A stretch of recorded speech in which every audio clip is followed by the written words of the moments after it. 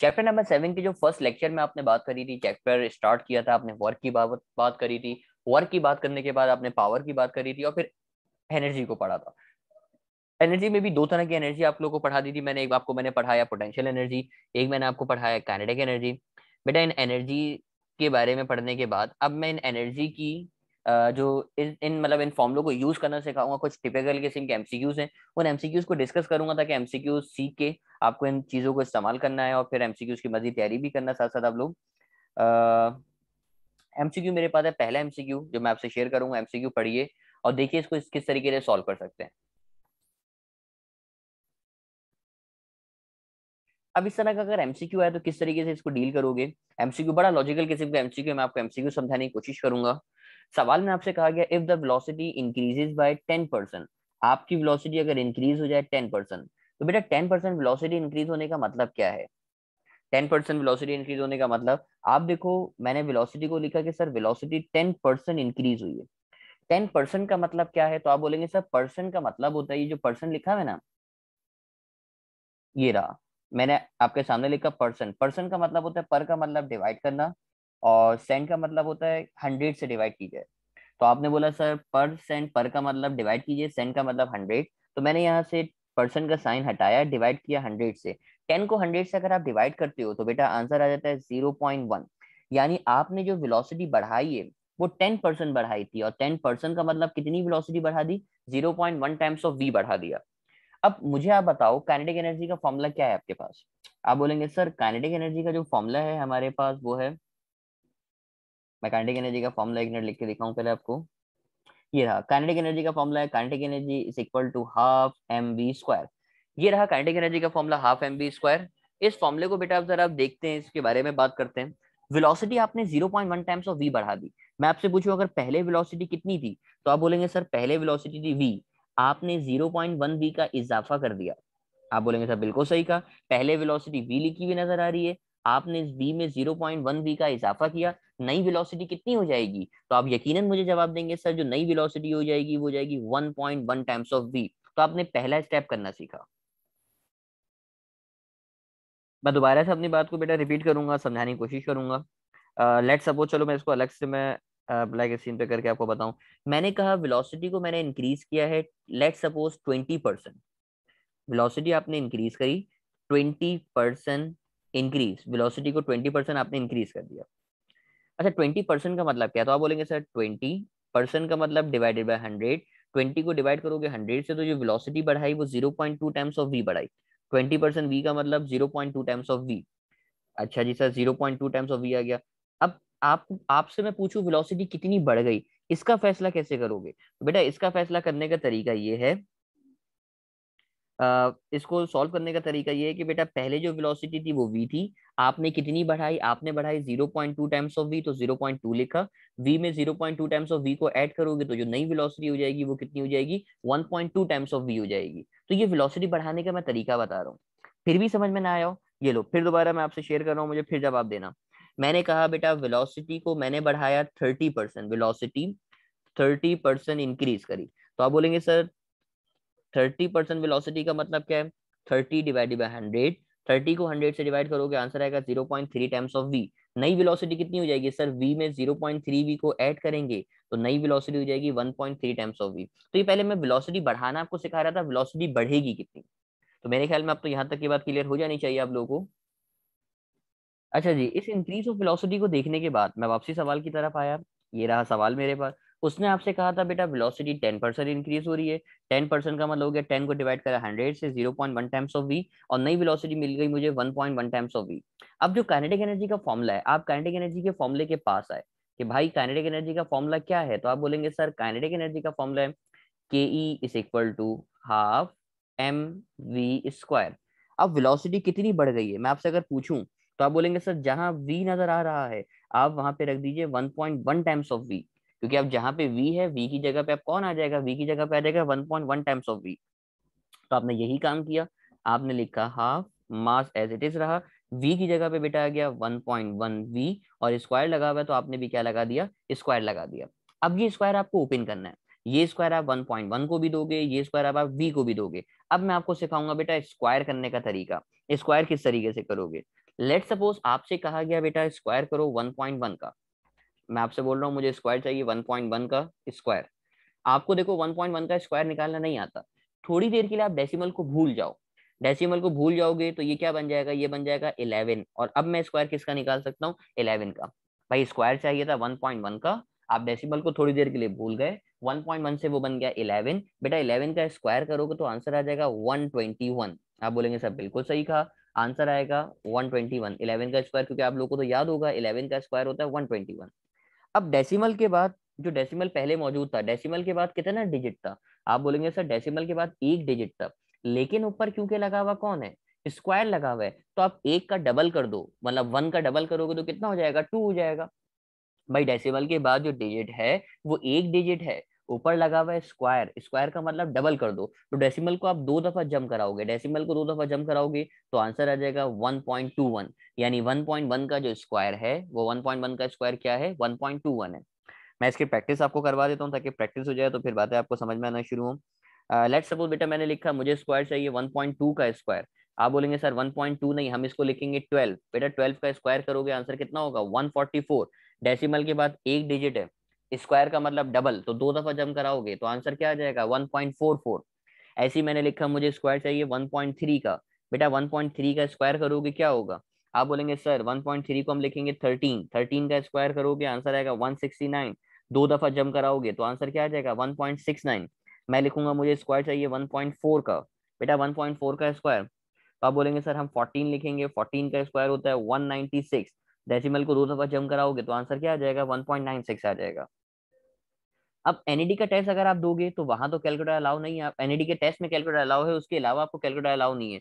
जो मेडिकल के स्टूडेंट्स उनको विदाउट कैलकुलेटर करना पड़ेगा। और जो एनईडी के अलावा टेस्ट देंगे, वहाँ भी कैलकुलेटर अलाउ नहीं है तो आपको विदाउट कैलकुलेटर फिर वहाँ पे कैलकुलेशन करनी होगी। बहरहाल, मैंने स्क्वायर आपको करना सिखाया बेटा। तो 1.1 का स्क्वायर आपने मुझे करके दिखाया, और 1.1 का जो स्क्वायर आ रहा था, वो आ रहा था 1.21 वी स्क्वायर अब इस नंबर को जरा अलग कर लेते हैं। ये नंबर जो अलग से नज़र आ रहा है ना 1.21 इस नंबर को आपने अलग करके लिख लिया। नंबर को अलग किया आपने। 1.21 और आगे मेरे पास कौन बच गया? आगे मेरे पास बन गया, बच गया हाफ़ एम बी स्क्वायर अब आप गौर से देखो, ये जो बचा है मेरे पास हाफ़ एम बी स्क्वायर तो काइनेटिक इस हाफ़ एम बी स्क्वायर ये जो नज़र आ रहा है तो ये किसके बराबर है? आप बोलेंगे, सर, ये बराबर है काइनेटिक एनर्जी के। यानी जो आपकी नई काइनेटिक एनर्जी है बेटा, वो नई काइनेटिक एनर्जी कितनी हो गई? 1.21 हो गई। तो आपने यहाँ से ब्रैकेट में जो लिखा हुआ नज़र आ रहा था हाफ़ एम बी स्क्वायर इसको हटाया इसको हटा के आपने लिख दिया क्या? Kinetic energy. तो आपके पास जो नई काइनेटिक एनर्जी की वैल्यू यहाँ पे नज़र आ रही है मैं इसको हाईलाइट एक, दफ़ा दोबारा लिख दूँ। ये आ गई मेरे पास काइनेटिक एनर्जी की value 1.21 times of kinetic energy. अच्छा ये 1.1 के स्क्वायर वाली बात मैं लेफ़्ट पे लिख रहा हूँ। 1.1 का स्क्वायर चाहिए, इसको आप लिखोगे 11 का स्क्वायर 11 का स्क्वायर का मतलब 121 डेसिमल को दो दफ़ा जम कराओगे तो आंसर आ जाएगा 1.21 ओके, अब जो बेटा नई काइनेटिक एनर्जी हो गई है, नई काइनेटिक एनर्जी आपको नज़र आ रही है 1.21 ये सवाल मैंने पहले ही कहा, सवाल इंतहा से ज़्यादा लॉजिकल सवाल है कि आपके पास जो काइनेटिक एनर्जी हो गई, नई काइनेटिक एनर्जी वो 1.21 टाइम्स हो गई। अब देखो, काइनेटिक एनर्जी कितनी बड़ी, आपको ये बताना है। उसने कहा ना वेलोसिटी अगर आपने इंक्रीज करी टेन परसेंट तो काइनेटिक एनर्जी कितना परसेंट इंक्रीज होगी? ये आपको बताना है। अब नई काइनेटिक एनर्जी 1.21 हो गई और पहली काइनेटिक एनर्जी काइनेटिक एनर्जी का जो इनिशियल फॉर्मूला लिखा हुआ है, वो लिखा हुआ है हाफ़ एम बी स्क्वायर यानी इनिशियल जो काइनेटिक एनर्जी बेटा, वो कितनी होगी? मेरे पास वन होगी। अब काइनेटिक एनर्जी में कितना इजाफा हुआ? ये निकालने के लिए आप दोनों काइनेटिक एनर्जी को बेटा आपस में माइनस कर दो। यानी दोनों काइनेटिक एनर्जी जो नज़र आ रही है, इनको आपस में माइनस करोगे तो जाएगा 1.21 काइनेटिक एनर्जी ये नई वाली हो गई और इनिशियल वाली बेटा सिर्फ़ सिंगल वन काइनेटिक एनर्जी होगी। अब 1.21 में से अगर वन को माइनस करोगे तो आंसर आएगा 0.21 टाइम्स ऑफ़ काइनेटिक एनर्जी अब इसको परसेंट में लाने के लिए आप 0.21 को 100 से मल्टीप्लाई करोगे तो 0.21 को 100 से मल्टीप्लाई करोगे तो आंसर आ जाएगा 21 परसेंट यानी काइनेटिक एनर्जी जो इंक्रीज होगी इंक्रीज ऑफ़ काइनेटिक एनर्जी इसका आंसर मैं आपको बता रहा हूँ, इसका जो आंसर आएगा वो आएगा correct answer option number B यानी 21 परसेंट तो एमसीक्यू काफ़ी ज़्यादा मुश्किल लग रहा है और ये एमसीक्यू है भी मुश्किल, लेकिन मैं अभी एमसीक्यू की इतनी आपको प्रैक्टिस करवाऊँगा कि आपको ये खुद जबानी याद हो जाएगा कि कितना परसेंट क्या करेंगे तो कितना आंसर आएगा। मैं इस बात को एक्सप्लेन करें तो अच्छा सवाल जहन में आ रहा होगा कि सर आपने लास्ट में माइनस क्यों किया? इसकी मिसाल ऐसे कि कि माइनस एंड में करके क्यों दिखाया? लेट सपोज़ आप मौजूद हो, या आप, आपके पास पहले दस रुपए थे थोड़ी देर बाद आपके पास आपको कहीं से पैसे पड़े हुए मिले, आपने पैसे उठा लिया आपके पास पंद्रह रुपए हो गए। आपने कितने पैसे उठाए? तो आप बोलेंगे, सर, हमने कितने पैसे उठाए, कितने पैसे हमारे बढ़ गए? तो ये निकालने के लिए आपस में इन दोनों को माइनस करेंगे। फिफ्टीन में से टेन को माइनस करेंगे तो आंसर आ जाएगा कितना? फाइव रुपीज़ आ जाएगा। तो इसलिए आपने एंड में माइनस किया। बहरहाल, मैं एमसीक्यूज की बेटा भी आपको तैयारी करवाता हूँ। एमसीक्यूज हम जबानी करना सीखते हैं। तो क्योंकि आपसे वादा है कि आपको सिखाएँगे इसको। लेट सपोज़ अब मैं आपको देखो जबानी सॉल्व करना सिखाता हूँ, जरा मेरी बातें सुनिएगा, समझिएगा और मुझे जवाब दीजिएगा। मैंने आपसे कहा, बेटा वेलोसिटी मैंने इंक्रीज करी ट्वेंटी परसेंट बताओ काइनेटिक एनर्जी कितना परसेंट इंक्रीज होगी? तो ये सवाल जरा सुनिएगा। वेलोसिटी इंक्रीज करी ट्वेंटी परसेंट काइनेटिक एनर्जी कितना परसेंट इंक्रीज होगी? आप बोलेंगे, सर, सुनिए वेलोसिटी आपने इंक्रीज करी है ट्वेंटी परसेंट अब ट्वेंटी परसेंट का मतलब कितना होगा? तो आप बोलेंगे, सर, ये देखिए, twenty divided by hundred twenty को हंड्रेड से डिवाइड करोगे तो आंसर आएगा zero point two times of v मुझे बताओ, नई वेलोसिटी कितनी हो जाएगी? आप बोलेंगे, सर, पहले वेलोसिटी वी थी, नई वेलोसिटी निकालने के लिए ज़ीरो पॉइंट टू वी का इजाफा करेंगे वी में ज़ीरो पॉइंट टू प्लस करेंगे तो आंसर आ जाएगा वन पॉइंट टू वी ये पहला स्टेप मेरे ख्याल में आपको समझ में आ रहा होगा कि आपने वेलोसिटी बढ़ाई ट्वेंटी परसेंट, नई वेलोसिटी हो गई बेटा मेरे पास वन पॉइंट टू परसेंट। अब मुझे बताओ काइनेटिक एनर्जी कितनी बढ़ेगी? तो आप बोलेंगे, सर, सुनिए काइनेटिक एनर्जी का फॉर्मूला क्या है? हाफ़ एम वी स्क्वायर तो जहाँ v नज़र आ रहा है, आप v की जगह पे क्या रखोगे? आप बोलेंगे, सर, हम v की जगह पे रखेंगे 1.2 टाइम्स ऑफ़ v और ऊपर स्क्वायर लगा हुआ है तो हम भी क्या लगा देंगे? स्क्वायर लगा देंगे. अब बेटा इसको सॉल्व करते हैं, ये देखिए, ये रहा हाफ़ एम 1.2 का स्क्वायर अभी थोड़ी देर पहले बताया था 1.2 का स्क्वायर 12 समझोगे इसको? 12 का स्क्वायर 144 डेसिमल को दो दफ़ा जम कराओगे तो आंसर आ जाएगा 1.44 तो आंसर आ जाएगा वन। आंसर लिख के दिखाया मैंने, आंसर आ गया 1.44 वी स्क्वायर। 1.4 को आपने पहले लाके लिख लिया तो अंदर बच जाएगा मेरे पास कौन? Half m v square. बेटा, हाफ़ एम वी स्क्वायर बराबर होता है काइनेटिक एनर्जी के तो काइनेटिक एनर्जी कितनी हो गई? 1.44 टाइम्स ऑफ़ काइनेटिक एनर्जी। याद है, नई काइनेटिक एनर्जी निकालने के लिए आपस में दोनों को क्या करोगे? माइनस करोगे, यानी 1.44 में से एक काइनेटिक एनर्जी को अगर आप माइनस कर दोगे तो दोनों को माइनस करके आंसर आ जाएगा 0.44 और मल्टीप्लाई बाय हंड्रेड कर दोगे तो काइनेटिक एनर्जी कितना परसेंट बढ़ जाएगी? काइनेटिक एनर्जी बढ़ जाएगी 44 परसेंट अब आप सवाल देख रहे हो सवाल अच्छा खासा लॉजिकल सवाल है कि आपने वेलोसिटी अगर 20 परसेंट बढ़ाई तो काइनेटिक एनर्जी कितनी परसेंट बढ़ेगी? तो करेक्ट जवाब इसका क्या हो जाएगा? 44 परसेंट हो जाएगा। एमसीक्यू uh, को मैंने समझाया हो सकता है कि बात अभी भी क्लियर ना हुई हो। लेकिन फिर एक दफ़ा मैं नई वैल्यूज़ के साथ आऊँगा और अब इससे ज़्यादा जल्दी करेंगे ताकि समझ में आए कि हाँ भाई, अब बातें क्लियर हो रही हैं और हम आगे प्रोसीड करते जा रहे हैं। मैंने आपसे कहा लेट सपोज़ आपने जो वेलोसिटी इंक्रीज करी बेटा वेलोसिटी इंक्रीज करी थर्टी परसेंट तो काइनेटिक एनर्जी कितने परसेंट इंक्रीज होगी आपको ये बताना है। अब आप देखो जबानी जबानी कर सकते हो आप। थर्टी परसेंट इंक्रीज होने का मतलब thirty divided by hundred answer आएगा zero point three times of v नई वेलोसिटी कितनी हो जाएगी? आप बोलेंगे, सर, ये देखिए वी में ज़ीरो पॉइंट थ्री वी को ऐड करेंगे तो नई वेलोसिटी आ जाएगी वन पॉइंट थ्री वी। आप बोलेंगे, सर, बिल्कुल सही कहा, ज़ीरो पॉइंट थ्री वी। देखो, काइनेटिक एनर्जी का फॉर्मूला क्या है? काइनेटिक एनर्जी का फॉर्मूला है हाफ़ एम वी स्क्वायर। जहाँ वी नज़र आ रहा है, वहाँ पे आप क्या रखोगे?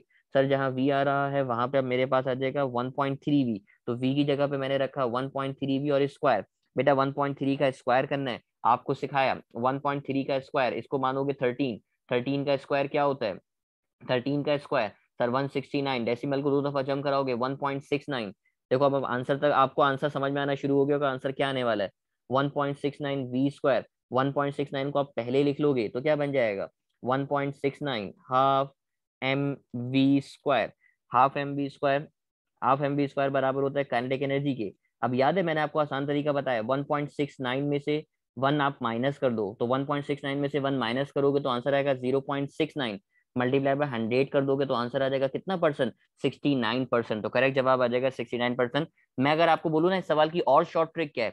मैं मैं सवाल को सिर्फ़ यहीं से आंसर देख के बता सकता हूँ। ये जो नज़र आ रहा है ना आपको, मैं सवाल को यहाँ से देख के आपको आंसर बता सकता हूँ। आंसर क्या आने वाला है? मैं आपको बताता हूँ, अगर समझ में आ जाए, बहुत अच्छी बात, नहीं आए तो कोई बात नहीं। देखो वन पॉइंट थ्री आ रहे हैं ना वन पॉइंट थ्री का डायरेक्ट स्क्वायर कर लो। वन पॉइंट थ्री तो वन पॉइंट थ्री का स्क्वायर कितना आएगा? One point six nine one point six nine में से आप देखो डायरेक्ट वन को गायब कर दो।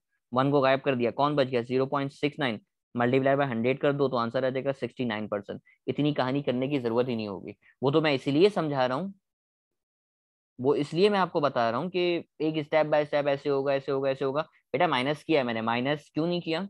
ये देखिए ना 1.69 में से वन, अगर आप वन माइनस करोगे, देखिए ना 1.69 काइनेटिक एनर्जी इसमें से अगर आप वन माइनस करोगे तो 0.69 ही तो बचेगा। तो मैंने जबानी जबानी सॉल्व कर लिया।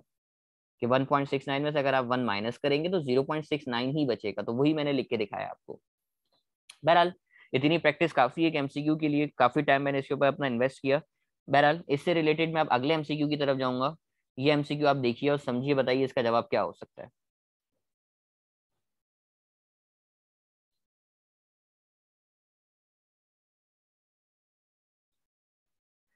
देखो, अब सवाल में आपसे कहा क्या? उससे सवाल में कहा if the velocity decreases by ten percent आपने वेलोसिटी को डिक्रीज किया है बेटा टेन परसेंट वेलोसिटी डिक्रीज हो गई। The kinetic energy decreases by क्योंकि वेलोसिटी डिक्रीज करोगे तो काइनेटिक एनर्जी भी डिक्रीज होगी। देखो वेलोसिटी को कितना डिक्रीज किया? आप बोलेंगे, सर वेलोसिटी को टेन परसेंट डिक्रीज किया। अब टेन परसेंट का मतलब क्या है? पहले तो टेन को डिवाइड करोगे हंड्रेड से तो आंसर आ जाएगा zero point one times of v मुझे बताइए, नई वेलोसिटी कितनी हो जाएगी? तो आप बोलेंगे, सर, नई वेलोसिटी देखो, पहले वेलोसिटी इंक्रीज होती थी तो आप प्लस करते थे। यहाँ वेलोसिटी इंक्रीज नहीं हो रही, यहाँ वेलोसिटी डिक्रीज हो रही है। देखो इंक्रीज होता है तो प्लस करते हो डिक्रीज होता है तो माइनस करोगे। अब मेरे पास वेलोसिटी पहले वी थी। आप पहले क्या करते थे? वी में ज़ीरो पॉइंट वन वी को ऐड करते थे। लेकिन आप ऐड नहीं करोगे, बल्कि आप क्या करोगे? सब करोगे। सब क्यों किया? क्योंकि बेटा डिक्रीज हो रहा है और डिक्रीज में आप माइनस करोगे। अब देखो, v में से 0.1 v को माइनस करोगे तो आंसर आएगा 0.9 टाइम्स ऑफ़ v नहीं यकीन आता तो कैलकुलेटर निकाल के चेक कर लो। हाँ वन में से 0.1 माइनस करोगे तो 0.9 ही आएगा। यानी अब जो नई वेलोसिटी है मेरे पास वो नई वेलोसिटी कितनी हो गई? 0.9 टाइम्स ऑफ़ v तो अब आपको ख्याल रखना बेटा अगर वेलोसिटी इंक्रीज हो तो, तो प्लस करेंगे वेलोसिटी डिक्रीज हो तो माइनस करेंगे। इसके बाद आप अगला काम क्या करोगे बेटा? आप काइनेटिक एनर्जी का फॉर्मुला लगाया। काइनेटिक एनर्जी का फॉर्मुला क्या है? Kinetic energy is equal to half m b square मैंने काइनेटिक एनर्जी का फॉर्मुला अप्लाई किया। काइनेटिक एनर्जी के फॉर्मुले के बाद बेटा, ये रहा half mass as it is रहा वेलोसिटी की जगह पे आप क्या रखोगे? तो सर वेलोसिटी जो नहीं हो गई है, वो हो गई है 0.9 टाइम्स ऑफ़ वी तो वी की जगह पे आपने रखा 0.9 टाइम्स ऑफ़ वी और इसका स्क्वायर कर दिया। अब 0.9 का स्क्वायर करना है बेटा 0.9 का स्क्वायर तो मैं आपको स्क्वायर करना सिखा दूँ। ये देखो, आपसे अगर बोले 0.9 का स्क्वायर करो तो 0.9 थोड़ी देर के लिए डेसिमल को भूल जाओ तो ये बन जाएगा 9 9 का स्क्वायर करोगे तो आंसर आएगा 81 डेसिमल के बाद एक डिजिट है, स्क्वायर नज़र आ रहा है, दो दफ़ा जम कराओगे, ये देखिए, एक, दो तो आंसर क्या आ जाएगा? आंसर आ जाएगा सर 0.81 तो आपने लिख के दिखाया कि जो वेलोसिटी है मेरे पास, वो क्या हो जाएगी? Zero point eight one v square. तो मैंने लिख के दिखा दिया zero point eight one v square. अब याद है, इस नंबर को आपने अलग कर लिया 0.81 नज़र आ रहा है, आपने इसको अलग किया 0.81 और आगे क्या नज़र आ रहा है आपको? आगे नज़र आ रहा है, हाफ़ एम बी स्क्वायर और ये हाफ़ एम बी स्क्वायर बराबर हो जाएगा किसके? काइनेटिक एनर्जी के। यानी जो काइनेटिक एनर्जी हो जाएगी, वो कितने टाइम्स हो जाएगी? 0.81 अब पहले जो काइनेटिक एनर्जी थी बेटा, वो पहले काइनेटिक एनर्जी कितनी थी आपके पास? तो आप बोलेंगे, सर, पहले काइनेटिक एनर्जी सिर्फ़ के ई थी। बाद में कम हो गई। कम हो गई कितनी हो गई? 0.81 बेटा, कितनी कम हुई है? तो कम करने के लिए आप फिर दोबारा क्या करोगे? माइनस करोगे। यानी अब इस बार वन में से ज़ीरो पॉइंट एट वन को अगर माइनस करोगे वहाँ भी कर रहे थे आप, वहाँ वहाँ भी आपने माइनस किया था, यहाँ भी आपने माइनस किया। बेटा वन में से ज़ीरो पॉइंट एट वन अगर माइनस करोगे तो आंसर आता है ज़ीरो पॉइंट वन नाइन और अगर आप इसको परसेंट में करना चाहोगे तो ज़ीरो पॉइंट वन नाइन को मल्टीप्लाई करोगे हंड्रेड से मल्टीप्लाई बाय हंड्रेड तो आंसर आ जाएगा आपके पास कितना परसेंट नाइनटीन परसेंट यानी करेक्ट जवाब हो जाएगा ऑप्शन नंबर सी मेरे पास। तो ये एक मुश्किल एमसीक्यू है, जो मैं आपको समझा रहा हूँ, आपको करवा रहा हूँ।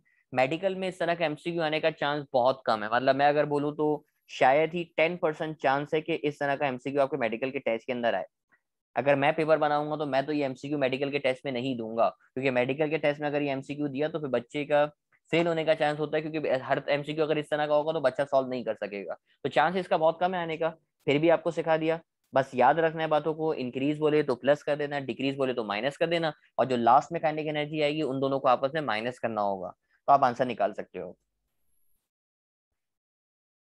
इसी तरह का एमसीक्यू बेटा एक और एमसीक्यू मैं आपसे शेयर करूँगा। वो आसान, काफ़ी आसान एमसीक्यू से। एमसीक्यू में कहा if height increases by 10 percent then potential energy increases by dash ये रहा इसके ऑप्शन देखो पोटेंशियल एनर्जी का फॉर्मूला क्या है? पोटेंशियल एनर्जी का फॉर्मूला है एम जी एच क्या हाइट पे स्क्वायर नज़र आ रहा है आपको? तो आप बोलेंगे, सर हाइट पे तो स्क्वायर नज़र नहीं आ रहा। हाइट पे स्क्वायर ना आने का वजह मतलब हाइट पे कोई स्क्वायर है नहीं फॉर्मूले में। अगर स्क्वायर ना हो तो जितनी हाइट आप बढ़ाओगे, उतनी ही पोटेंशियल एनर्जी बढ़ेगी। यानी दोनों एनर्जीज में सेम चेंज आएगा। यानी अगर आपने हाइट को बढ़ाया बेटा टेन परसेंट तो जो पोटेंशियल एनर्जी है पोटेंशियल एनर्जी भी कितनी बढ़ जाएगी? टेन परसेंट बढ़ जाएगी। यानी इस एमसीक्यू का बड़ा आसान सा जवाब हो गया।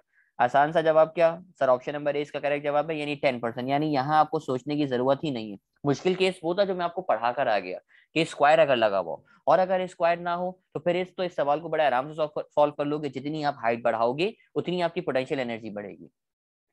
लेकिन एक एमसीक्यू मैंने मुश्किल आपके लिए बनाया। जरा एमसीक्यू देखिएगा। उसने आपसे कहा if mass and the height of the body increases by twenty percent आपने मास और हाइट दोनों को ट्वेंटी परसेंट बढ़ा दिया। देखो मास ट्वेंटी परसेंट बढ़ाने का मतलब क्या है? मास ट्वेंटी परसेंट बढ़ाने का मतलब क्या है कि नया मास कितना हो जाएगा? नया मास हो जाएगा वन पॉइंट टू टाइम्स अब मैं चलो इसको और ज़्यादा डायरेक्ट आपको करवा रहा हूँ ताकि आपको सॉल्व करने की ज़रूरत ही ना पड़े। अगर आपसे बोले ना कि चलो इसको यहाँ पे लिखता हूँ। मैंने वेलोसिटी को ट्वेंटी परसेंट, टेन परसेंट बढ़ाया अगर आपसे बोले वेलोसिटी टेन परसेंट आपने इंक्रीज करी, इसका मतलब नई वेलोसिटी हो जाएगी one point one times of v मैं आपसे बोलूँ ट्वेंटी परसेंट बढ़ाइए तो नई वेलोसिटी हो जाएगी वन पॉइंट टू। मैं आपसे बोलूँ थर्टी परसेंट बढ़ाओगे तो थर्टी परसेंट का मतलब कितना हो जाएगा? वन पॉइंट थ्री आप इसको और शॉर्ट कर लो। आप जितना आसान अपने लिए करोगे, उतनी आसानी आपको होगी। अब सवाल में आपसे क्या कहा गया? सवाल में आपसे कहा गया कि मास भी ट्वेंटी परसेंट बढ़ाया हाइट भी ट्वेंटी परसेंट बढ़ाई। तो मास की जगह पे one point two times of m आ जाएगा और हाइट ट्वेंटी परसेंट बढ़ा रहे हो। तो हाइट ट्वेंटी परसेंट बढ़ाने का मतलब क्या है कि अगर हाइट को भी ट्वेंटी परसेंट बढ़ाया तो नई हाइट हो जाएगी one point two times of height अब आप वही पोटेंशियल एनर्जी का फॉर्मूला लगाओगे बेटा। पोटेंशियल एनर्जी का फॉर्मूला है मेरे पास एम जी एच एम की जगह पे आ जाएगा one point two times of m g as it is रहेगा और हाइट की जगह पे आ जाएगा one point two times of h बेटा 1.2 को 1.2 से मल्टीप्लाई करने का मतलब 1.2 का स्क्वायर कर दो। और 1.2 का आपको स्क्वायर आता है 12 का स्क्वायर 144 आंसर बन जाएगा 1.44 यानी जो नई पोटेंशियल एनर्जी बनेगी 1.44 mgh mgh बराबर होगा पोटेंशियल एनर्जी के तो नई जो पोटेंशियल एनर्जी आ रही है, वो कितनी आ रही है? 1.44 तो कितनी बड़ी याद है लास्ट में वन माइनस कर दोगे वन हटा दोगे तो करेक्ट जवाब आप निकाल सकते हो। आप जो नई पोटेंशियल एनर्जी आ रही है, वो 1.44 टाइम्स आ रही है। लास्ट में आके बेटा आप इन दोनों को दोबारा माइनस कर दोगे, ये देखो 1.44 में से अगर आप वन को माइनस कर दोगे तो आंसर आ जाएगा 0.44 मल्टीप्लाई बाय हंड्रेड कर दोगे तो पोटेंशियल एनर्जी आ जाएगी कितना परसेंट 44 परसेंट तो करेक्ट आंसर मिल जाएगा आपको क्या? ऑप्शन नंबर सी मिल जाएगा। तो भाई ये जितने मुश्किल एमसीक्यूज थे सारे मुश्किल एमसीक्यूज क्लियर हुए। और इन एमसीक्यूज को समझा दिया था कि मुश्किल एमसीक्यूज कोशिश तो करिए आपको समझाने की ऑनलाइन में पढ़ाना मुश्किल होता है। फ़िज़िकल में होता तो आधे घंटे में ये मैं बात जल्द से जल्द वाइंड अप मतलब कर देता इतना इशू नहीं था। ओके okay, इस मुश्किल एमसीक्यू को देखने के बाद आगे आप थोड़ा आसान आसान से एमसीक्यू जले ली उनकी बात कर लेते हैं। ये रहा अगला एमसीक्यू एमसीक्यू देखिए और मैं आपको सकता हूँ एमसीक्यू में बोला कि आपसे सवाल में कहा मैन वेइंग 600 न्यूटन आपको मैन का वेट बता रहा है। वेट यानी डब्ल्यू दे रहा है 600 newton climb five metre vertically vertically climb करने का मतलब हाइट दे रहा है in eight second eight second का मतलब आपको टाइम दे रहा है एट सेकेंड फाइन आपसे मांग कर क्या फाइन कर क्या रहा है? फाइन करने को कह क्या रहा है? हिस रेट ऑफ़ वर्किंग बेटा रेट ऑफ़ वर्किंग का मतलब है क्या? देखो वर्क रेट ऑफ़ वर्किंग का मतलब क्या है कि वर्क को टाइम से डिवाइड कर दो। और वर्क के डिवाइड टाइम को डिवाइड करने का मतलब होता है पावर क्योंकि वर्क को अगर टाइम से डिवाइड करते हो, कितना काम कर रहा है, कितने टाइम में, इस चीज़ को आप पावर बोल रहे हो और ये ऑलरेडी आप पढ़ कर आए हो। उसने ये नहीं कहा वर्क निकाल के दिखाओ, उसने कहा रेट ऑफ़ वर्किंग तो रेट ऑफ़ वर्किंग का वर्ड आपको समझ में आ गया, सर रेट ऑफ़ वर्किंग का मतलब हमें क्या निकाल के दिखानी है? पावर निकाल के दिखानी है। तो मेरे सामने पावर का फॉर्मूला मौजूद था। पावर का फॉर्मूला मैं दोबारा आपको लिख के दिखाऊँ बेटा। पावर का फॉर्मूला है मेरे पास power is equal to work upon time आपका जो शख्स है बेटा, ये हाइट पे जा रहा है, ऊपर की तरफ़ जा रहा है। ये शख्स भागता हुआ यहाँ से हाइट पे गया, ऊपर की तरफ़ यहाँ पहुँच गया। अब कितनी हाइट पे गया? मुझे एक बात बताइए हाइट पे जाने की वजह से कौन सी एनर्जी आती है? आप बोलेंगे, सर हाइट पे जाने की वजह से आती है पोटेंशियल एनर्जी यानी जब ये हाइट पे गया तो हाइट पे जाने की वजह से वर्क किया और वर्क करने की वजह से इसके बाद जो एनर्जी आई, वो एनर्जी कहलाएगी पोटेंशियल एनर्जी तो आपने यही काम किया, ऊपर वर्क की जगह पे आप लिखोगे पोटेंशियल एनर्जी नीचे आ जाएगा, आपके पास टाइम बेटा पोटेंशियल एनर्जी का फॉर्मूला होता है m g h divided by time आप बोलेंगे, सर, बिल्कुल सही कहा। अब एक बात पे गौर करो। ये जो एम जी नज़र आ रहा है, क्या ये आपको किसी का फॉर्मूला नहीं दिख रहा? एम जी हाँ बोलेंगे ये सर, बिल्कुल। पावर का हमें फॉर्मूला दिख रहा है एम जी फॉर्मूला दिख रहा है वेट का। फॉर्मूला होता है वेट बराबर में लिखा हुआ है हाइट नीचे लिखा हुआ है टाइम बेटा, आप देख रहे हो ना एम जी नज़र आ रहा है। एम जी फॉर्मूला होता है वेट का। अब मुझे बताओ, इसमें से क्या क्या पता है? सर वेट पता है? सिक्स हंड्रेड हाइट पता है सर फाइव टाइम पता है कितना? एट अब इसको मल्टीप्लाई डिवाइड कर लेते हैं। तो आपने लिखा वेट की जगह पे सिक्स हंड्रेड बेटा हाइट की जगह पे आ जाएगा मेरे पास फाइव और नीचे टाइम की जगह पे आ जाएगा एट अब इसको आप मल्टीप्लाई कर लो। सिक्स फाइव से करोगे तो आंसर आ जाएगा थर्टी और दो ज़ीरो सिक्स हंड्रेड के लिखे में तो आप उनको लिख के दिखा दोगे, जबकि नीचे आ जाएगा एट अब आप थर्टी थ्री थाउज़ेंड को एट से डिवाइड कर लो। चाहो तो टू से कैंसिलेशन कर लो। टू से कैंसिलेशन करके देख लेते हैं। ये देखो टू फिफ्टीन थर्टी और दो ज़ीरो एसिड आ जाएँगे यानी थ्री थाउज़ेंड का हाफ़ फिफ्टीन हंड्रेड होता है, ये हो जाएगा फोर मजीद इसको डिवाइड करोगे तो फोर को टू से डिवाइड करोगे टू और फिफ्टीन हंड्रेड को टू से डिवाइड करोगे तो फिफ्टीन हंड्रेड का हाफ़ होता है सेवन फिफ्टी फिर मजीद टू से डिवाइड करोगे बेटा टू वन द टू और सेवन फिफ्टी का हाफ़ होता है थ्री सेवेंटी फाइव यानी करेक्ट जवाब हो जाएगा ऑप्शन नंबर सी यानी थ्री सेवेंटी फाइव वॉट आप चाहो तो हाफ़ ऑफ़ करते रहो टू से डिवाइड करते रहो और चाहो तो डायरेक्ट एक दफ़ा डिवाइड कर लो, बहरहाल आपको आंसर मिल जाएगा। तो लॉजिक आपको सीखने को मिली कि अगर आपको वेट और हाइट देगा और आपसे बोले पावर निकाल के दिखाओ तो इस लॉजिक से आप निकाल सकते हो। एक जो बात मैं आपको इजाफी यहाँ पे बताना चाह रहा हूँ, बेटा पोटेंशियल एनर्जी का फॉर्मूला क्या होता है? आप बोलेंगे, सर पोटेंशियल एनर्जी का फॉर्मूला होता है एम जी एच सही एम जी बराबर होता है डब्ल्यू के तो पोटेंशियल एनर्जी का ये भी फॉर्मूला बन सकता है वेट इंटू हाइट ज़रूरी नहीं कि एम जी एच होगा। ये फॉर्मूला भी आप इस्तेमाल कर सकते हो। वेट इंटू हाइट यानी वेट और हाइट को मल्टीप्लाई करोगे तो आपके पास पोटेंशियल एनर्जी आ जाएगी। इस एमसीक्यू को देख के आगे बढ़ेंगे, अगले एमसीक्यू की तरफ़। ये रहा नेक्स्ट एमसीक्यू एमसीक्यू देखिए और जवाब सोचिए, इसका जवाब क्या होगा? Watt hour is a unit of dash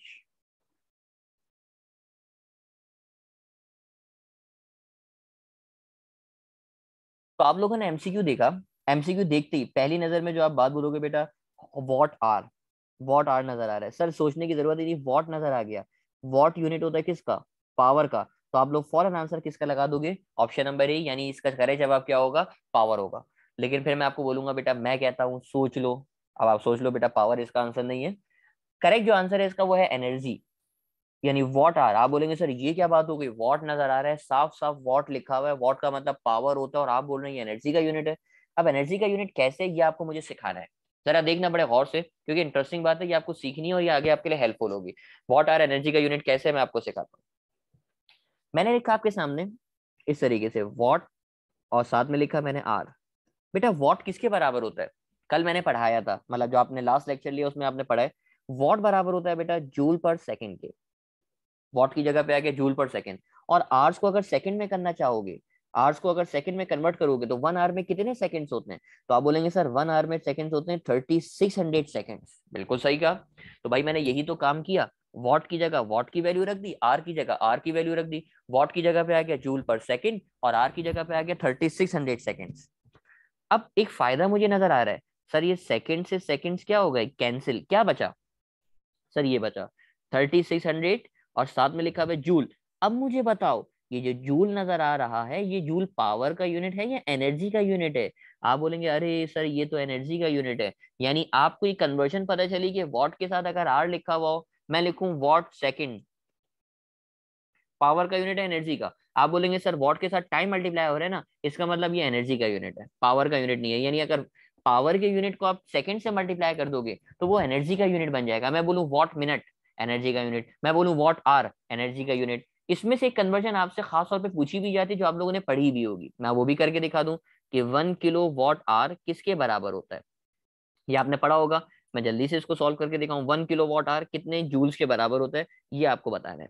तो देखो, मैंने लिखा वन किलो नज़र आ रहा है तो किलो की जगह पे आ जाएगा थाउज़ेंड वॉट नज़र आ रहा है तो वॉट की जगह पे आ जाएगा जूल पर सेकेंड और आर नज़र आ रहा है तो आर की जगह पे आ जाएगा थर्टी सिक्स हंड्रेड सेकेंड तो मैंने सबकी वैल्यू रख दी, किलो की जगह थाउज़ेंड वॉट की जगह जूल पर सेकंड और आर की जगह थर्टी सिक्स हंड्रेड सेकंड बेटा, ये सेकंड से सेकंड्स क्या हो जाएँगे? कैंसिल तो जो नंबर्स बचेंगे नंबर्स मुझे बताओ क्या बच रहा है? One multiply by thousand multiply by thirty six hundred और साथ में जूल लिखा हुआ है। सबको मल्टीप्लाई करोगे तो आंसर आ जाएगा three point six exponential six joule ये कन्वर्जन आपसे बार बार पूछता भी है कि वन किलो वॉट आर कितने जूल्स के बराबर है? तो आप आंसर लगाओगे बेटा three point six exponential six joule के बराबर है। और आपसे बोलेगा किलो वॉट आर किसका यूनिट है? तो आप बोलेंगे, सर, सुनिए, क्योंकि आखिरी में जूल आ रहा है किलो वॉट आर में भी तो वन किलो वॉट आर भी किसके बराबर है? जूल के बराबर है। वन किलो वॉट आर इतने जूल्स के बराबर और जूल एनर्जी का यूनिट है। तो किलो वॉट आर भी यूनिट एनर्जी का। आपका होमवर्क है, आप मालूम करोगे वन मेगा वॉट आर कितने जूल्स के बराबर है? ये अब आपका काम है। वन मेगा वॉट आर इस एमसीक्यू को देखने के बाद आगे बढ़ते हैं। और अगला एमसीक्यू क्या है मेरे पास? अगला एमसीक्यू देखते हैं। Slope of what time graph is dash slope of what time graph की आपसे बात कर रहा है। अच्छा जी slope of what time graph कैसे निकालेंगे? क्या कहलाता है? देखो स्लोप का मतलब स्लोप का आप लोगों ने अगर आप सेकंड टाइम मैथ्स के स्टूडेंट हो तो तो आप लोगों ने स्लोप का फॉर्मूला पढ़ा हुआ है। और मैथ्स के ना भी हो तो मैं आपको पढ़ा देता हूँ। बेटा स्लोप का फॉर्मूला होता है m is equal to y upon x यानी दो चीज़ों को डिवाइड कर दो, ये स्लोप आ जाएगा। ये स्लोप का फॉर्मूला है। एम स्लोप कहलाता है स्लोप निकालने का फॉर्मूला है। Slope is equal to y upon x अब उसने किस किस का स्लोप निकालने को कहा? उसने स्लोप निकालने को कहा वर्क और टाइम यानी अब आप किस किस को डिवाइड करोगे? सर, हम डिवाइड करेंगे वर्क को टाइम से। अब आप अगर थोड़े से भी जीनियस हो तो देखो उसने कहा slope of work time graph slope निकालने के लिए वर्क और टाइम को डिवाइड करोगे। तो बेटा वर्क और टाइम को डिवाइड करते हो तो कौन आता है? आप बोलेंगे, अरे सर वर्क और टाइम को डिवाइड करेंगे तो जो आंसर आएगा वो क्या आएगा? पावर आएगा। यानी करेक्ट जवाब क्या हो जाएगा? ऑप्शन नंबर ए हो जाएगा। ओके इस एमसीक्यू को देखने के बाद आगे बढ़ेंगे। मेरे पास फॉर्मूला है काइनेटिक एनर्जी का। काइनेटिक एनर्जी का फॉर्मूला आपके सामने लिखा हुआ नज़र आ रहा है। Kinetic energy is equal to half m v square आइए मैं आपको बना आइए मैं आपको सिखाता हूँ। बनाने का तरीका, एक नई काइनेटिक एनर्जी का फॉर्मूला काइनेटिक एनर्जी का फॉर्मूला मैं आपको नया फॉर्मूला बनाना सिखा रहा हूँ काइनेटिक एनर्जी का। अब नया फॉर्मूला बनाने के लिए मैंने काम किया, जरा पढ़िएगा। मैंने क्या काम किया? मल्टीप्लाई एंड डिवाइड मैंने मल्टीप्लाई डिवाइड किया किससे? मास से on right hand side on both side नहीं है गलत लिखा हुआ है। ऑन राइट हैंड साइड होना चाहिए तो इसको काट देते हैं। Multiply and divide by mass on right hand side R H S right hand side तो देखिए, काइनेटिक एनर्जी के फॉर्मूले में हो जाएगा half m v square multiply divide कर दिया मैंने मास के साथ, यानी एम ऊपर भी लगा दिया एम नीचे भी लगा दिया। अब इसका फ़ायदा क्या है? ये m को m से मल्टीप्लाई करूँगा ऊपर तो m m को मल्टीप्लाई करूँगा तो आंसर हो जाएगा m स्क्वायर नीचे आ जाएगा m आप बोलेंगे, सर, बिल्कुल सही कहा, आपने m से मल्टीप्लाई डिवाइड किया तो ऊपर ऊपर मल्टीप्लाई करेंगे तो m स्क्वायर हो जाएगा, नीचे m आ जाएगा। अब ऐसे लिखा हुआ, कहीं अगर इक्वेशन में ऐसे लिखा हुआ हो एक्स स्क्वायर, वाई स्क्वायर। क्या मैं इसको ऐसे नहीं लिख सकता? एक्स, वाई का होल स्क्वायर? आप बोलेंगे, सर, बिल्कुल सही कहा। आपने स्क्वायर को कॉमन निकाल के बाहर लिख दिया। जब वापसी ओपन करेंगे तो स्क्वायर दोनों के पास आ जाएँगे। सेम यहाँ पे भी देखिए ना क्या लिखा हुआ है। यहाँ पे क्या लिखा हुआ नज़र आ रहा है आपको? तो आप बोलेंगे, सर, एम स्क्वायर नज़र आ रहा है, वी स्क्वायर नज़र आ रहा है। स्क्वायर दोनों के ऊपर मौजूद है, एम पे भी और वी पे भी। तो स्क्वायर को आपने कॉमन निकाल के ऊपर लिख दिया। तो बन जाएगा हाफ़, आगे बच गया एम वी का स्क्वायर और नीचे एम आ गया। क्या आप लोगों ने बचपन में एक फॉर्मूला पढ़ा था? मोमेंटम का formula P is equal to m v आप बोलेंगे यस सर पढ़ा तो था। P is equal to m v ये मोमेंटम का फॉर्मूला है. यानी जहाँ पे एम वी नज़र आ रहा है, जहाँ पे एम वी नज़र आ रहा है, वहाँ पे आप P को रख दोगे तो काइनेटिक एनर्जी का जो फॉर्मूला बनेगा, वो क्या बन जाएगा? Half p square upon m तो काइनेटिक एनर्जी का फॉर्मूला नया फॉर्मूला आ गया। एक फॉर्मूला आपके पास पहले से मौजूद था, जो आपके सामने टॉप पे हाईलाइट में कर रहा हूँ। Kinetic energy is equal to half m v square और नया फॉर्मूला आ गया आपके पास kinetic energy is equal to half p square upon m इन दोनों फॉर्मुलों को आप जरा देखेंगे और फॉर्मुलों को मैं आगे इस्तेमाल करना भी सिखाऊँगा। अब एक छोटा सा एमसीक्यू आपके सामने आएगा। एमसीक्यू देखते हैं जरा। ये रहा मेरे पास एमसीक्यू एमसीक्यू देखिए और सोचिए इसका जवाब क्या हो सकता है।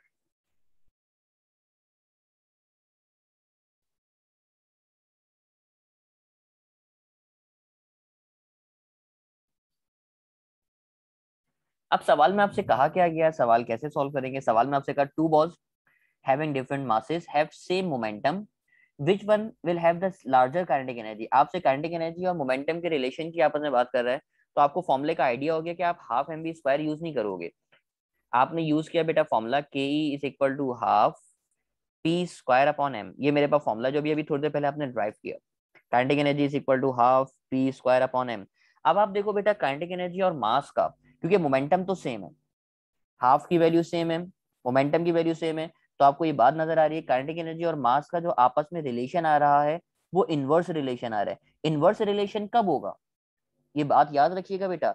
इनवर्स रिलेशन जब होगा, जब मोमेंटम सेम होगा। वैसे तो काइनेटिक एनर्जी का फॉर्मूला क्या है? Half m v square kinetic energy का ये भी तो फॉर्मूला है हाफ़ एम बी स्क्वायर तो काइनेटिक एनर्जी और मास का डायरेक्ट रिलेशन भी होता है। डायरेक्ट रिलेशन होता है जब मोमेंटम की बात ना करे। लेकिन यहाँ उसने बात करी मोमेंटम सेम है। अगर मोमेंटम सेम होगा इफ़ सेम मोमेंटम तो काइनेटिक एनर्जी का मास से आपस में इनवर्स रिलेशन होगा। अब आप देखो, आपको काइनेटिक एनर्जी लार्जर चाहिए। उसने कहा ना लार्जर काइनेटिक एनर्जी तो काइनेटिक एनर्जी ज़्यादा होगी। अगर मास क्या होगा, कम होगा। तो अब देखो इनवर्स रिलेशन तो मुझे बताओ काइनेटिक एनर्जी ज़्यादा जब होगी, जब मास कम होगा। और मास कम होने का मतलब आंसर क्या होना चाहिए? स्मॉलर होना चाहिए, यानी करेक्ट आंसर हो जाएगा मेरे पास क्या? ऑप्शन नंबर बी लेकिन शर्त यह है कि सेम मोमेंटम हो। अगर सेम मोमेंटम होगा तो आपको करेक्ट आंसर मिलेगा। अगर ये सेम मोमेंटम की बात नहीं करता, फिर आप ये फॉर्मुला लगाते। Kinetic energy is equal to half m v square kinetic energy का फिर आप रिलेशन बनाते। काइनेटिक एनर्जी का मास से रिलेशन क्या हो जाता? डायरेक्ट हो जाता। फिर अगर मास ज़्यादा होता तो काइनेटिक एनर्जी ज़्यादा होती, अगर वो मोमेंटम की बात नहीं करता। लेकिन यहाँ पे क्योंकि उसने बात किसकी करी हुई है? मोमेंटम की। अगर मोमेंटम की बात करेगा मोमेंटम उसने बोल दिया कि भाई मोमेंटम आपके पास सेम है मोमेंटम की वैल्यू चेंज नहीं हो रही। सवाल में मेंशन किया हुआ है आपको, ये रहा कि सवाल में लिखा हुआ है, आपका जो मोमेंटम है, वो मोमेंटम सेम है। अगर सेम मोमेंटम है तो आपने ये फॉर्मुला अप्लाई किया kinetic energy is equal to half p square upon m देखो हाफ़ की वैल्यू गायब कर दी क्योंकि हाफ़ तो कांस्टेंट है। पी स्क्वायर भी कांस्टेंट हो गया क्योंकि मोमेंटम सेम हो गया, आपने इसको भी हटा दिया। तो अब काइनेटिक एनर्जी और मास एक ऊपर लिखा हुआ है, एक नीचे लिखा हुआ है। तो ऊपर नीचे का मतलब आपस में रिलेशन कैसा हो जाएगा? इनवर्स रिलेशन हो जाएगा। तो इनवर्स रिलेशन यानी जिसकी काइनेटिक एनर्जी ज़्यादा, उसका मास कम। इस एमसीक्यू को देखने के बाद आगे बढ़ेंगे। अगले एमसीक्यू की तरफ़। अगला एमसीक्यू भी थोड़ा सा इंटरेस्टिंग है और आपको सॉल्व करना मुश्किल होगी। मैं एमसीक्यू पढ़ के सॉल्व करना सिखाऊं। ये रहा एमसीक्यू ये इसके आंसर लिखे हुए। एमसीक्यू पढ़ता हूँ, मैं आपको जवाब देता हूँ। बेटा उसने कहा a car having mass 10 KG mass का मतलब m दे रहा है। Moving with the velocity of 2 metre per second if the velocity of a car changes to 8 metre per second एक वेलोसिटी इनिशियल दे रहा है, एक वेलोसिटी फाइनल दे रहा है। What will be the change in kinetic energy आपसे बोल रहा है चेंज इन काइनेटिक एनर्जी बता दीजिए। चेंज इन काइनेटिक एनर्जी का मतलब delta K E kinetic energy का चेंज निकाल के दिखा दीजिए। तो बेटा काइनेटिक एनर्जी का चेंज अब कैसे निकालोगे? काइनेटिक एनर्जी का चेंज निकालने का फॉर्मूला क्या है? मैंने लिखा change in kinetic energy kinetic energy का चेंज निकालने का तरीका क्या है? फाइनल में से आप इनिशियल को क्या कर दीजिए? माइनस कर दीजिए। भाई, किसी भी चीज़ का चेंज चाहिए होता है। आप ज़्यादा वाले में से कम वाले को माइनस करते हो, यानी फाइनल में से इनिशियल को माइनस कर दिया। तो फाइनल काइनेटिक एनर्जी का फॉर्मूला क्या बनेगा? Half m v f square minus half m v i square भाई, यही बनना चाहिए ना। काइनेटिक एनर्जी फाइनल का फॉर्मूला क्योंकि काइनेटिक एनर्जी का सिंपल जो फॉर्मूला है, वो ये है। हाफ़ एम बी स्क्वायर क्योंकि यहाँ पे मास और वेलोसिटी दे रहा है तो मुझे मोमेंटम वाला फॉर्मूला यूज़ करने की ज़रूरत ही नहीं पड़ी। मास वेलोसिटी से आपका काम हो जाएगा, आपको आंसर आ जाएगा। मोमेंटम अगर देता तो मोमेंटम वाला फॉर्मूला यूज़ करता। अब दोनों में से कुछ कॉमन आ रहा है तो कॉमन निकाल लीजिए यहाँ हाफ़ लिखा हुआ है दोनों के अंदर, दोनों के अंदर लिखा हुआ है मास तो आपने हाफ़ और मास को कॉमन निकाल लिया। यानी हाफ़ और मास को कॉमन निकाला तो अंदर बच जाएगा मेरे पास कौन? V f square minus v i square अब आप इसमें वैल्यू रख दीजिए। ये रहा मेरे पास हाफ़ बेटा मास की जगह पे कौन आ जाएगा? मास की जगह पे आएगा टेन वी एफ़ की जगह पे कौन आएगा? तो आप बोलेंगे, सर वी एफ़ की जगह पे आएगा eight square minus v i की जगह पे आएगा टू स्क्वायर अब इस इक्वेशन को सॉल्व कर लेते हैं। देखो, ये तो कैंसिल हो रहा है साफ़ साफ़ नज़र आ रहा है। चलो, अगले स्टेप में कर लेते हैं। ये हो जाएगा हाफ़ ये हो जाएगा मेरे पास हाफ़ टेन और एट का स्क्वायर सिक्सटी फोर टू का स्क्वायर फोर हो जाएगा। अब जो कैंसिल हो रहा है, उसको कैंसिल कर देते हैं। Two one the two two five the ten तो जो बचेगा मेरे पास, वो कौन है? फाइव है। अंदर सिक्सटी फोर में से फोर को माइनस करोगे तो आंसर आ जाएगा सिक्सटी और सिक्सटी को फाइव से मल्टीप्लाई करोगे तो सिक्स फाइव सिक्स होता है थर्टी तो ये बन जाएगा थ्री हंड्रेड जूल यानी काइनेटिक एनर्जी में जो चेंज होगा, वो चेंज आ जाएगा कितना जूल थ्री हंड्रेड जूल तो करेक्ट आंसर हो जाएगा ऑप्शन नंबर बी तो इस तरह का एमसीक्यू भी आ सकता था चेंज इन काइनेटिक एनर्जी का, वो भी मैंने आपको तरीका सिखा दिया। तो मुख्तलिफ़ तरीकों से एमसीक्यू जो पूछे जा सकते थे, सारे तरीके मैं आपसे शेयर कर रहा हूँ और इन तमाम तरीकों को शेयर किया। बेटा एनर्जी का जब टॉपिक पढ़ते हो तो एनर्जी के टॉपिक के बाद एक चीज़ लाजमी आती है, वो जो लॉ है, उस लॉ की तरफ़ मैं आगे बढ़ूँगा। ये लॉ का नाम लिखा हुआ है लॉ क्या लिखा हुआ है? लॉ लिखा हुआ है law of conservation of energy तमाम लोगों ने सुना होगा, तमाम लोगों ने पढ़ा है लॉ कंजर्वेशन ऑफ़ एनर्जी क्या है लॉ तो बड़ा आसान सा law energy can neither be created energy को ना क्रिएट कर सकते हैं। Energy can neither be created nor be destroyed ना ही क्रिएट कर सकते हैं, ना ही डिस्ट्रॉय कर सकते हैं but it can it can only be transform from one form to another form ये एक फॉर्म से दूसरी फॉर्म में क्या हो जाती है? ट्रांसफॉर्म हो जाती है। अब आपको जो मुझे सिखाना है, वो इंटर कन्वर्जन ऑफ़ एनर्जी सिखाना है।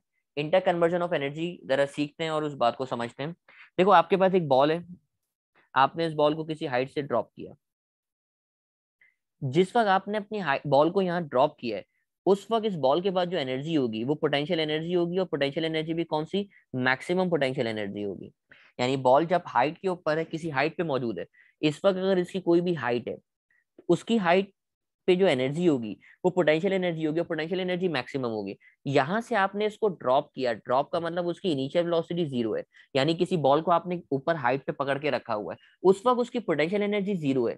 सॉरी पोटेंशियल एनर्जी मैक्सिमम है। लेकिन उसकी जो काइनेटिक एनर्जी है बेटा, वो काइनेटिक एनर्जी किसके बराबर होगी? ज़ीरो के बराबर होगी। अभी एमसीक्यूज में आपसे पूछ सकता हूँ मैं कि भाई, आपने एक बॉल को हाइट पे लेके गए, वहाँ आपने उसको पकड़ के रखा हुआ है, बताओ उसके पास कौन सी एनर्जी है? तो आप बोलेंगे, सर, उसके पास पोटेंशियल एनर्जी मैक्सिमम होगी, जबकि काइनेटिक एनर्जी उसके पास ज़ीरो होगी। क्योंकि बॉल तो उस वक्त मूव ही नहीं कर रही। आपने तो बॉल को पकड़ के रखा हुआ है ना? काइनेटिक एनर्जी तो जब आती है, जब बॉल आपकी मूव करे तो ये बात आपने सीखी। यानी पॉइंट ए पे मैं चलो इसको अलग से भी लिख दूँगा ताकि आपको बातें हाईलाइट होती भी नज़र आए। पॉइंट ए पे पोटेंशियल एनर्जी तो मैक्सिमम है, लेकिन काइनेटिक एनर्जी किसके बराबर है? ज़ीरो के बराबर है।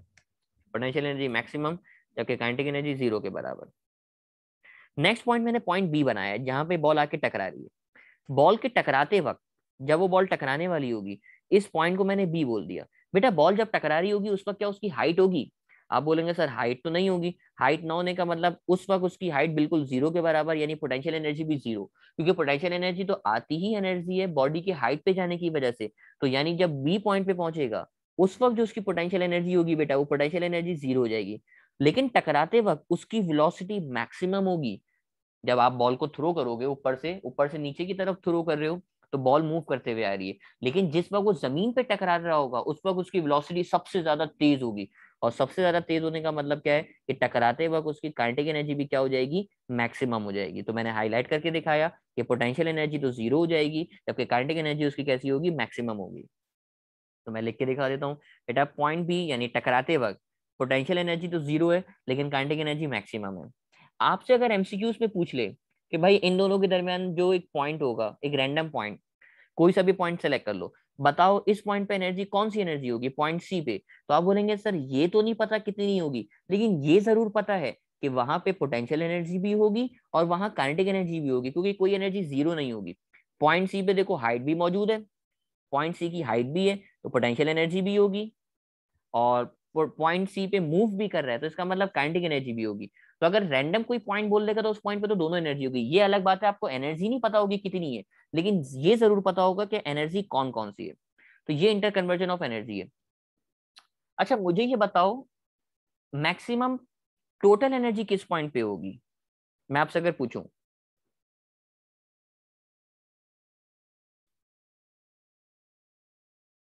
टोटल एनर्जी किस पॉइंट पे मैक्सिमम होगी? तो आप बोलेंगे, सर टोटल एनर्जी जो है ना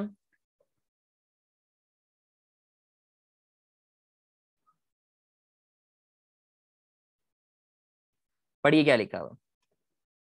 आपके सामने लिखा हुआ, बेटा total energy same at each point यानी पोटेंशियल एनर्जी काइनेटिक एनर्जी तो कम ज़्यादा होंगी, लेकिन जो टोटल एनर्जी है वो हर पॉइंट पे सेम रहेगी, क्योंकि आपने पढ़ा है ना energy can neither be created nor be destroyed but it can transfer it from from one form to another form वो सिर्फ़ शक्लें चेंज करिए, कभी पोटेंशियल कभी काइनेटिक कभी काइनेटिक कभी पोटेंशियल लेकिन जो टोटल एनर्जी है, वो टोटल एनर्जी हर पॉइंट पे सेम होगी। यानी जितनी टोटल एनर्जी ए पर होगी, उतनी टोटल एनर्जी बी पर होगी, और उतनी टोटल एनर्जी किस पर होगी? सी पर होगी। तो मैं इसको अलग से हाईलाइट भी कर देता हूँ। टोटल एनर्जी मतलब ई ई ए पर भी सेम होगा। बेटा टोटल एनर्जी बी पे भी सेम होगा, और टोटल एनर्जी ई पे भी सेम होगा। इसको ऐसे हाईलाइट कर देते हैं।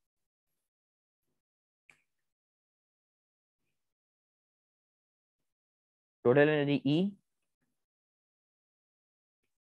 same at all point okay law conservation of energy के टॉपिक को देखने के बाद आगे बढ़ते हैं। इसके बाद आपके पास है वर्क एनर्जी इक्वेशन ये वर्क एनर्जी इक्वेशन आपने पढ़ी होगी। uh, मैं एक्सप्लेन कर देता हूँ इसको। In a fluid medium gain in kinetic energy is equal to the difference of loss in potential energy और loss in potential energy and work done against friction ये वर्क एनर्जी इक्वेशन कहलाती है। अच्छा ये स्टेटमेंट जो मैंने आपको समझाई, ये इतनी आसानी से समझ में नहीं आती, मैं इसको और एक्सप्लेन कर दूँ। इसकी सेकंड इक्वेशन ये in a free falling body gain in kinetic energy must equal to the loss in potential energy और ये इसकी इक्वेशन है। इस इक्वेशन को देख के बात समझ में आएगी। देखो, अगर जितनी काइनेटिक एनर्जी में गेन हो रहा है आपने अगर बॉल को ड्रॉप किया बॉल नीचे की तरफ़ आ रही है। नीचे की तरफ़ आने का मतलब क्या है? पोटेंशियल एनर्जी उसकी लॉस हो रही है पोटेंशियल एनर्जी कम हो रही है। लेकिन उसकी स्पीड बढ़ रही है। बॉल जैसे जैसे नीचे की तरफ़ आ रही है, उसकी स्पीड बढ़ी है। स्पीड बढ़ने का मतलब कौन बढ़ रही है? काइनेटिक एनर्जी बढ़ रही है। यानी काइनेटिक एनर्जी में गेन होता है पोटेंशियल एनर्जी में लॉस होता है। साथ में एक और बात लिखी हुई है कि काइनेटिक एनर्जी में गेन पोटेंशियल एनर्जी में लॉस लेकिन उस लॉस में से एक चीज़ को माइनस करते हो, वो क्या है? वर्क डन अगेंस्ट फ्रिक्शन यानी आपकी बॉडी अगर डाउनवर्ड मूव कर रही है देखो, आपकी बॉडी अगर डाउनवर्ड मूव कर रही है तो इसका वेट इसको डाउनवर्ड मूव करा रहा है जो एमजी है। लेकिन कोई भी बॉडी अगर मूव करती है, उस पर फ्रिक्शन एक्ट होती है और फ्रिक्शन की डायरेक्शन हमेशा बॉडी की डायरेक्शन की कैसी होती है? अपोजिट होती है। यानी बॉडी अगर आपकी डाउनवर्ड मूव कर रही है तो फ्रिक्शन हमेशा उसकी क्या होगी? अपोजिट होगी।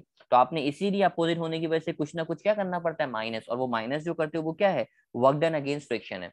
अब क्योंकि इक्वेशन हमें ड्राइव नहीं करनी ड्राइव करोगे तो फिर बहुत लंबी बात होगी तो मैं भी आपको ड्राइव नहीं कराऊँगा। मैं सिर्फ़ आपको इक्वेशन ओवरव्यू करवा रहा हूँ कि वर्क एनर्जी इक्वेशन कहलाती है काइनेटिक एनर्जी में गेन बराबर होता है पोटेंशियल एनर्जी में loss minus work done against friction तो वर्क एनर्जी इक्वेशन की आप दोनों स्टेटमेंट याद करना। स्टेटमेंट याद करने के बाद आपको फॉर्मूला याद होना चाहिए और मेरे ख्याल में इसके बाद लास्ट टॉपिक्स हैं, उन लास्ट टॉपिक्स को मैं आपको बता दूँ ताकि चैप्टर को वाइंड अप करें। टॉपिक का नाम लिखा हुआ है एब्सोल्यूट पोटेंशियल एनर्जी डेफिनेशन पढ़ो तो खुद ब खुद मेरी बात समझ में आ जाएगी एब्सोल्यूट पोटेंशियल एनर्जी में क्या लिखा हुआ है?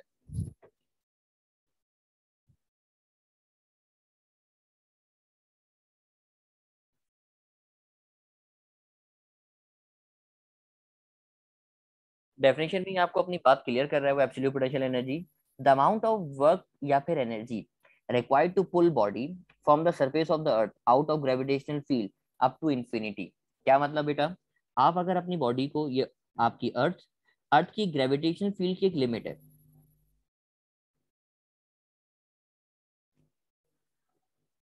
अर्थ की अपनी ग्रेविटेशन लिमिट है।